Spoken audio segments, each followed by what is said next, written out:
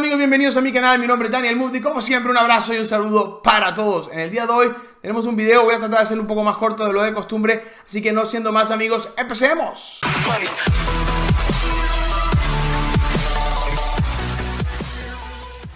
bien amigos, aquí estamos y eh, vale la pena tocar el tema eh, importante, interesante que hemos visto en el día de ayer, la recuperación que tuvo fuerte el mercado después de eh, una fuerte bajada, obviamente vimos que el mercado recuperaba algo de terreno, el Bitcoin se ponía en los 4200 y vemos que algunas otras monedas le siguieron muy bien el camino a Bitcoin. En el caso de Stellar en particular también se tuvo una buena recuperación, algo así como unos 20%, mientras que Cardano, eh, Monero y IOTA también vieron bastante beneficiadas el día de ayer incluyendo entre otras a Tron. Tron tuvo una fuerte subida. Yo les comentaba en el streaming pasado los rumores que existen sobre la intención de Justin Sin de llevar a Tron a eh, BAT y todo lo que eso podría traer con el dinero institucional. Bueno, eh, el mercado tuvo una sacudida el día de ayer. Hoy estamos a la expectativa. Ayer mandaba yo una señal en Discord. Si no me siguen en Discord, te lo recomiendo, es gratuito. Y yo mandaba ayer una señal en Discord avisando sobre un pullback que estaba haciendo Tron a la línea de 200. En este momento ese movimiento alcanzó casi un 14%, 13.5% para ser exactos. El movimiento después del aviso que di en la comunidad de Discord. También avisaba en la comunidad de Discord del pullback que estaba haciendo Bitcoin a la media móvil de 50 después de la ruptura del triángulo y tuvimos un pequeño impulso que alcanzó alrededor de unos 6%, 7% en Bitcoin. Así que esas dos eh, eh, notificaciones las puedes podido tener si me sigues en, Discord. Así que no olvides seguirme en Discord, es gratuito y el link está en la descripción de este video. Pero con todo esto que estaba pasando ayer, tenemos algunas noticias interesantes, así que voy a empezar rápidamente a contarles de qué se trata. Y una de ellas es, tiene que ver con que el fundador de ICE estuvo una eh, entrevista y estaba comentando en esta charla sobre Bitcoin. Eh, veíamos que decía que el precio de Bitcoin es agnóstico, según él. Eh, obviamente que es muy difícil que alguien sepa con exactitud cuál es el verdadero precio de, Bitcoin, pero eh, todos sabemos hacia dónde ellos van con todo esto del precio y cómo ellos han tratado de tapar quizás la falta de, en mi opinión, seriedad o de transparencia, porque van a salir en diciembre, van a salir ahora en enero y todavía estamos a la expectativa de que eso ocurra. Después dicen que el precio se, se está expresando en este momento, pero faltan muchos casos de infraestructura y su uso, dice él. Y dice, si, piensas en los índices de materias primas, el valor del estándar Plus 500, ese precio se establece en un mercado regulado por el gobierno federal. No tenemos esto en el mercado de la criptografía en la actualidad. Eso es lo que nos centramos en llevar una gran cantidad de otras características dando un poquito más de explicación acerca de lo que él cree que el precio y cómo vamos a tener que ir buscando las formas para determinar el precio de Bitcoin. Creo que eh, pareciera que eh, una empresa como ICE va a entrar a un mercado en el que el precio no se sabe de ese activo y lo va a ofrecer a sus eh, inversores sin saberlo. a otro perro con ese hueso, me perdona amigos de ICE, pero todos sabemos ustedes a qué están jugando y lo están haciendo muy bien. Nadie les quita eso, pero no nos crean tontos. Y lo otro es, a menudo en finanzas se trata de ser el mejor, resulta ser más resulta ser el más amplio y el más comúnmente aceptado, el mejor. Así que eh, yo creo que eh, está claro que ellos están tratando de hacer su juego. Van a tratar de salir ahora en enero. Vamos a ver si lo logran hacer en enero. Vamos a ver cómo le dan las cuentas porque al parecer todo depende de cuáles son los números que ellos están buscando para entrar al mercado. Eh, y por alguna razón Bitcoin se ha convertido en eso, dice al final del artículo. Después vemos otra noticia interesante y es que Nasdaq anuncia que eh, va a entrar en el mercado futuro. No es nuevo que ellos ya habían anunciado algo que, iban a entrar, pero ya con más detalle lo han llamado las cripto 2.0 y vienen con sus futuros. Gabor Gurbach, el director de estrategia de activos de BanEck, anunció el movimiento para llevar al mercado un contrato de tipo de futuro de cripto 2.0 irregulado, que es lo que él recalca. Lo que me gustaría señalar es que lo corrimos con unas cuantas millas adicionales trabajando con la Comisión de Comercio de Futuros en productos básicos para lograr nuevos estándares de custodia y vigilancia, que son a la larga los que están permitiendo que estos futuros físicos lleguen al mercado de las criptos, que es lo que va a hacer BAC y que ahora empiezan a hacer Nasdaq con su socio BankEct. Así que eh, estemos muy atentos a lo que está ocurriendo. Yo me quedo con alguna eh, frase que decía al final, que decía que van a ver un cuarto, un primer cuarto de 2019 muy emocionante, está por venir, decía Goodback y prediciendo un poco, y también decía, creemos que en 2018 fue el año de la regulación y el 2019 será el año de la implementación. Creo que está bastante cantada la jugada que tiene todo el mercado y parece ser que el primer cuarto del próximo año es el target que están apuntando casi todas estas compañías a salir y seguramente ahí va a venir una fuerte inyección de capital institucional. Lo hablábamos ya en el otro streaming, en el streaming pasado. Eh, hay otra noticia que quizás no sea tan buena y tiene que ver con los ETF, pero por eso están saliendo tanto los futuros. Ven cómo tiene esto relación, porque los futuros físicos ahora empiezan a salir, mientras que los ETFs, mientras que eh, eh, todo el rollo con la SEC todavía no termina de cuajar y eso empieza a mostrarnos las dos caras.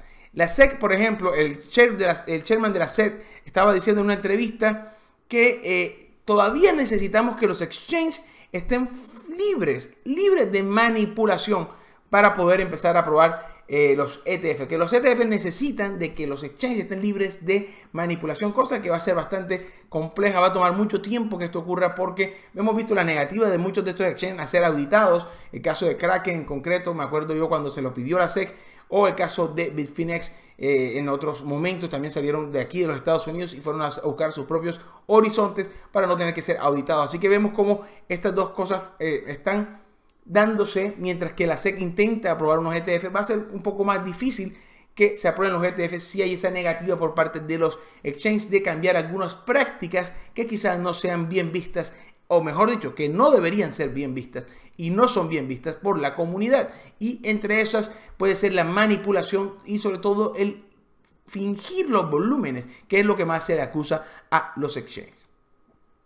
Otra noticia también salía con respecto a esto y era que eh, podríamos estar, tener un, un camino bloqueado, un camino difícil para la aprobación de los ETF. ¿Podría esto alargar un poco la entrada de los ETF? O eso al menos lo que se especula en estas dos noticias. Yo de todas maneras creo firmemente en que podríamos estar viendo una aprobación de estos ETFs para finales eh, de febrero del año que viene. Creo que no va a ocurrir en 29 de diciembre. Creo que ya soy bastante escéptico en esa fecha, pero sí me atrevo a eh, eh, intentar creer que la SEC, con todo lo que nos ha hecho esperar, va a tener una decisión al menos si sí o si no, el 29, el 27, perdón, de febrero del 2018, del 2019, 27 de febrero del 2019, que es lo que estamos esperando.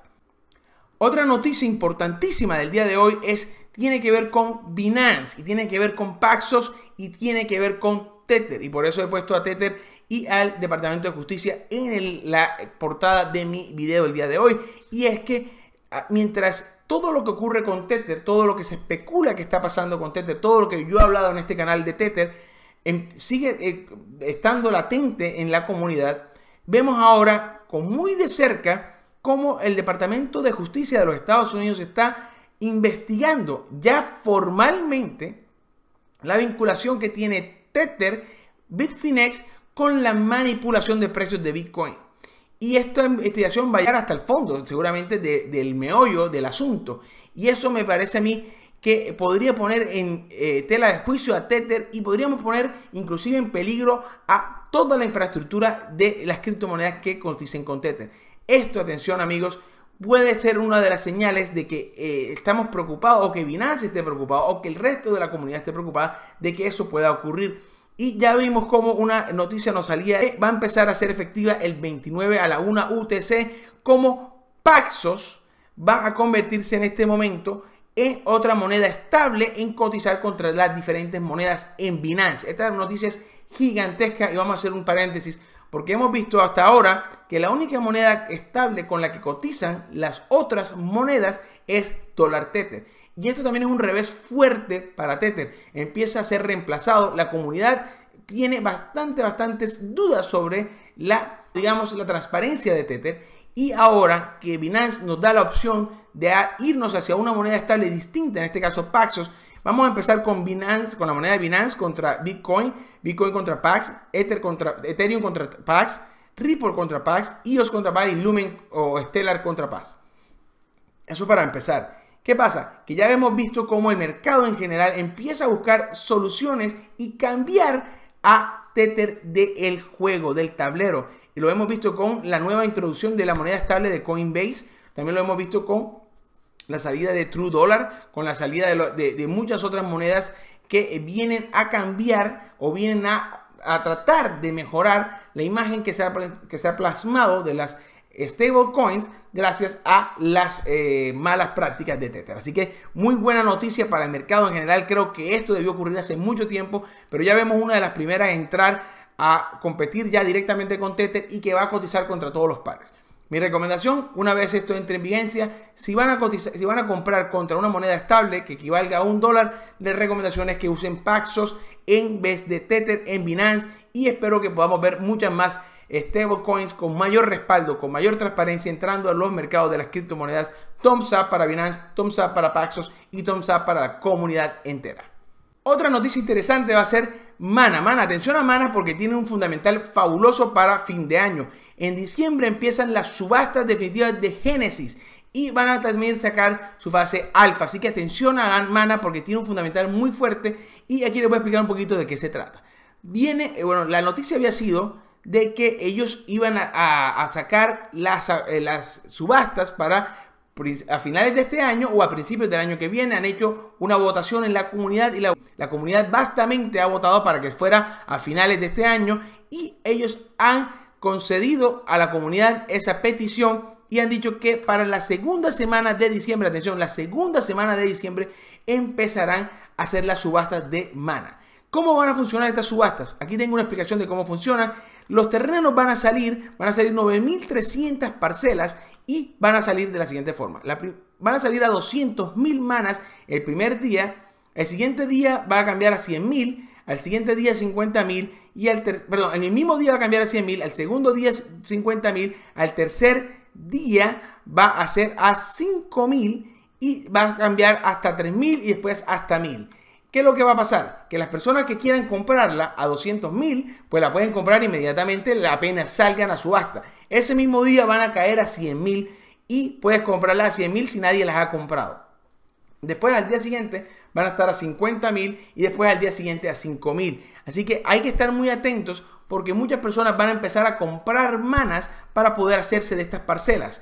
Y por consiguiente el precio de mana las, cerca de la segunda semana de diciembre o en la segunda semana de diciembre puede empezar a verse altamente beneficiado de este movimiento. Así que aquí les doy un fundamental fabuloso para que tengan en cuenta con Mana. Yo creo que Mana puede empezar a subir desde ahora hasta esa fecha. Podríamos tener unas buenas subidas en Mana, así que no se pierdan esta oportunidad. Eh, la pueden eh, ir buscando en el precio. Yo les voy a mostrar ahora mismo cómo está el precio de Mana. Viene de un rebote en el punto pivote esta semana. Ha hecho un buen movimiento, ha salido de una tendencia bajista y en este momento nos encontramos en buena en buen punto de compra. Yo diría que un buen punto de compra estaría en los 1400 aproximadamente Satoshi, 1415, pero ya en los 1440 que se encuentra sigue estando en un buen punto de compra, teniendo en cuenta obviamente el fundamental que vamos a esperar a que ocurra. Eh, si quieres puedes entrar, eh, puedes entrar a poner un stop loss por debajo de la media móvil 200 puede ser un buen punto de stop loss Puedes buscar la forma en la que tú quieres invertir. Si quieres invertir a largo plazo, si quieres hacer una inversión pasiva, acumular más manas, lo puedes ir haciendo desde ahora porque es muy probable que el precio aumente a medida que llegue este gran fundamental. Eh, otra noticia interesante es que la, la, empresa Zafir acaba de sacar un ring para minería. Yo pensé que la minería se estaba muriendo. Alguien por ahí eh, estábamos viendo cómo inclusive en China estaban vendiendo algunos rings de minerías eh, por kilos y la gente diciendo que eh, prácticamente no iba a comprar más minería, que los mineros no son rentables en este momento, pero aún así vemos a compañías como Zafir, que tiene unas GPUs basadas en AMD, decir que ha sacado un nuevo ring para minería, así que creo que quizás no esté tan muerta o estén apostando a una subida en los mercados pronto. Así que thumbs up por ellos por intentar. Y bueno amigos, eso ha sido todo por el día de hoy. Vamos a revisar a Bitcoin como la última moneda que vamos a ver antes de cerrar este video. Y vemos cómo ha salido de este triángulo invalidado la figura bajista. El, eh, está haciendo un pullback a la media móvil de 50. Trató de romper una, por segunda vez el punto pivote de la semana. No lo logra en este momento. Y seguimos expectantes a ver cuáles son los precios en los que se puede mover el eh, Bitcoin. Vemos también aquí como en los puntos de soporte ya los he pintado. El precio ha superado nuevamente los 4100, así que atentos porque Bitcoin sigue teniendo ahora este soporte de los 4100. Si rompe el soporte de los 4100, vamos a tener nuevamente los 3800 y 3500 y por último los 3000 en la parte baja de esta línea de soporte, pero todavía tenemos tres soportes por encima, 4100, 3800 y 3500. Creo que en esta zona va a ser bastante difícil que Bitcoin eh, logre romper fácilmente, aunque si lo logra hacer, los 3000 creo que va a ser el punto definitivo de este movimiento, al menos por ahora, porque hay una fuerte cantidad de compra puesta ya en esta zona. Creo que va a ser un rebote muy fuerte si llegase el precio hasta este punto. Yo, mi recomendación es que si tienes Bitcoin, puedes mantener en esta zona, aunque eh, si estás buscando un buen punto en compra, puedes todavía buscarlo en los soportes 4100, 3800 y 3500. Ok amigos, me voy a despedir, no voy a hacer mucho más análisis técnico el día de hoy. Quería traer esta información noticiosa primero que todo. Un abrazo como siempre, hasta la próxima.